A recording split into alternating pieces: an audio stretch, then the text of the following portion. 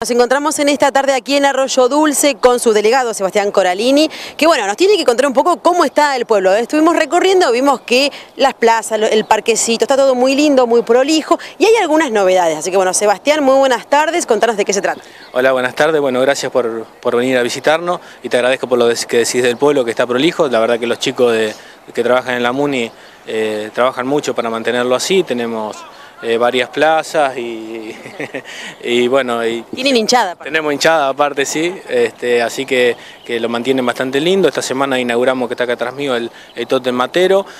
Este Totem lo compró el Consejo de Administración de la, de la Cooperativa de Servicios Públicos de Arroyo Dulce y desde la municipalidad les dimos una mano con el zanjeo y y bueno, y también este, con, la losa que lleva abajo y, tratamos de siempre en conjunto de, llevar algunas cosas adelante. Ah, no, el que viene a visitar Arroyo o el que vive aquí también puede venir, estar en el parque, hay un lugar lindo, prolijo, que además tiene la facilidad de forma gratuita de tener el agua para el mate. Vemos que además eh, funciona con energía solar, ¿verdad?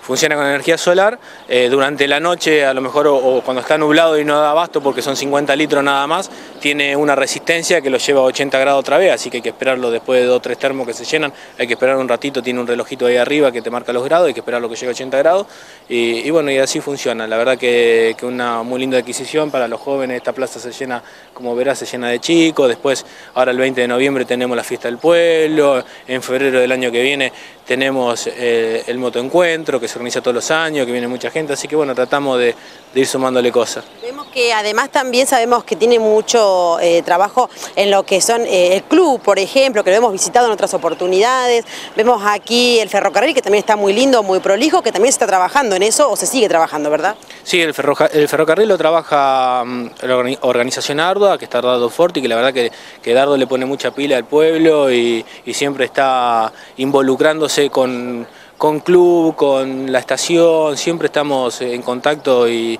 es bueno tener a alguien así que empuje también para adelante en la localidad, ¿no? Y siempre, siempre estamos en contacto, eh, todos los del pueblo que, que, se preocupan por el pueblo, Raúl, Dardo, bueno, ni hablar de Camilo y Ricardo Alessandro, que siempre estamos, y la cooperativa de servicios, siempre estamos, en, somos un grupo y yo siempre sueño con, con, un pueblo de instituciones unidas que tiren y empujen todos para, para adelante y para Arroyo Dulce.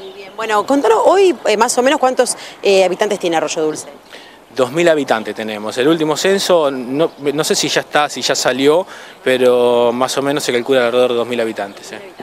Eh, y con respecto, por ejemplo, cuando se viene la temporada de verano, sabemos que tienen colonia o que trabajan en la parte deportiva con el club también y los chicos. ¿Eso sigue en pie? ¿Se, proyecta eh, ahora la temporada de verano? Sí, el Club Círculo, como todos los años, de la colonia ya está promocionando para las distintas, las distintas edades y las fechas, como, como todos los años, y sí, están con eso. La verdad que siempre laburando bien con, los chicos. ¿Se, sigue trabajando con la cooperativa mm, del reciclado de plásticos? ¿Eso sigue en pie? Bueno, te cuento un poco. Nosotros teníamos acá en Arroyo Dulce, que se había armado un, cielo, un basural a cielo abierto de hace muchos años que venía, se venían eh, acumulando de todo tipo de residuos, eh, que estaban en el camino yendo a salto en sobre mano izquierda.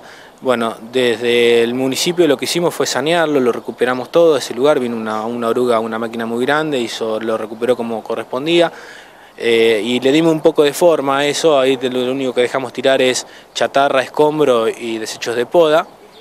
Entonces, y pusimos una barrera de entrada con tres días a la semana, que son jueves, viernes y sábado de 7 de 19, esos son los días únicamente que se puede estirar y es únicamente eso desecho.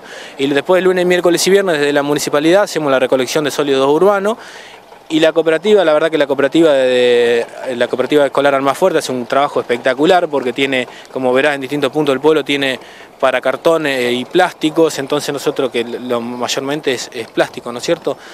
Eh, le damos una mano también a la cooperativa, se lo juntamos, se lo llevamos al depósito, siempre trabajamos en conjunto en busca después de un camión para llevar los plásticos a algún lado y la verdad que, la cooperativa Almafuerte hace un laburo muy importante en el pueblo con lo que es residuos.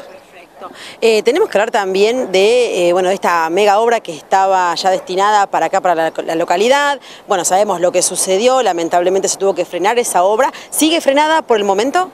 Mira, esta semana se pusieron 300 metros de caño en calle Belgrano, Em, eh, está judicializado con la empresa, la verdad que información sobre eso mucho no te puedo dar, eso a lo mejor tendrías que hablarlo con, lo tendría que decir algún abogado de la municipalidad, yo mucha información de eso no, no te puedo dar, pero es una obra que se va a hacer con el tiempo, yo calculo que va a llevar un tiempo más de lo que, de lo que uno tenía pensado, porque está, está judicializado, eh, los precios de, la licitación de hace dos años atrás hoy no son los mismos, así que, que calculo que va a llevar un tiempo más, pero que esperemos que, que sí, que yo tengo fe que se va a hacer esa obra. Digo, por lo pronto y en principio la promesa de que se termine la obra está. Está, sí, sí, Ricardo y Camilo están a, full trabajando en eso para, para, que esta obra se termine. Sí, Bueno, y hoy una tarde donde culminan un hermoso domingo con un cielo súper despejado y una caminata del alce que la verdad que mucha gente se ha comprometido también con esta caminata y vemos que la están pasando muy bien.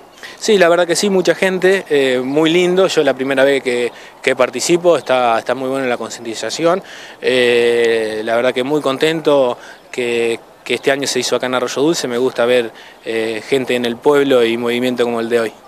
Bueno, Seba, muchísimas gracias y felicitaciones. No, no, gracias a vos, gracias a ustedes por estar acá en Arroyo y bueno, los espero pronto. Gracias.